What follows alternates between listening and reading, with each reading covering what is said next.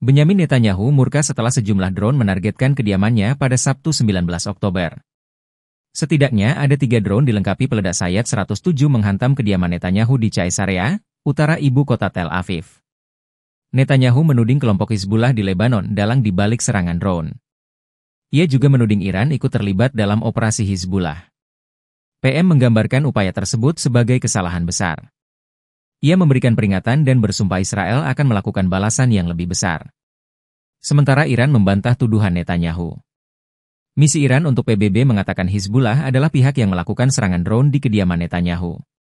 Tindakan ini dilakukan oleh Hizbullah Lebanon, kata misi Iran untuk PBB, Sabtu, menurut apa yang dilaporkan oleh kantor berita resmi Iran atau IRNA.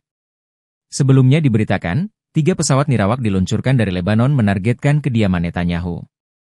Dua drone berhasil dicegat Roshanikra dan Naharia, namun drone ketiga meledak di kota pesisir tengah Caesarea. Serangan pesawat nirawak yang menargetkan kediaman Netanyahu adalah pertama kalinya sejak dimulainya perang. Tak ada korban jiwa dalam serangan tersebut, lantaran saat serangan terjadi Netanyahu beserta istrinya Sarah Netanyahu sedang tidak berada di dalam rumah itu.